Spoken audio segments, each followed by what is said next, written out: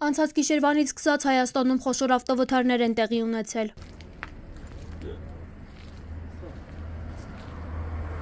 Կեսգիշերին մոտ խոշոր ավտովթար է տեղի ունեցել Երևանում։ Թևոսյան փողոցում իրար են բախվել մարդատար ավտոբուսն ու Երևանի 28-ամյա բնակչի ավտոմեքենաները։ Վթարի հետևանքով 28-ամյա տղամարդը եւ նրա ուղևորը մարմնական վնասվածքներով տեղափոխվել են Սուրբ Գրիգոր Լուսավորիչ հիվանդանոց։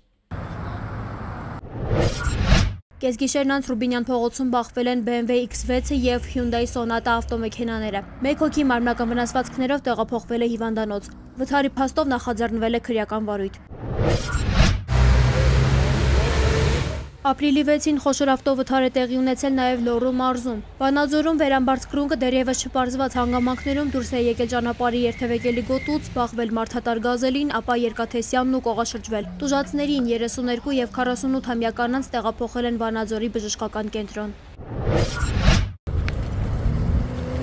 Ապրիլի 6-ին Երևանում իրար են բախվել Երևանի 26-ամյա բնակչի վարած BMW Մակնիշի եւ 73-ամյա տղամարդու վարած VAZ 2121 ավտոմեքենաները։ Բախման հետևանքով BMW-ն դուրս է եկել երթևեկելի գոտուց, Նիվան էլ կողաշրջվել։ Վարորդն էլ մարմնական վնասվածքներով տեղափոխվել է Երևանի բժշկական կենտրոն։